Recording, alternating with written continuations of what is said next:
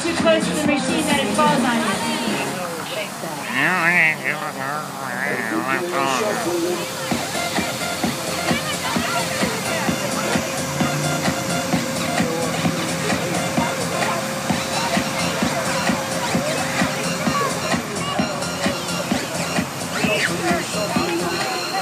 Step up fast and be first to the man.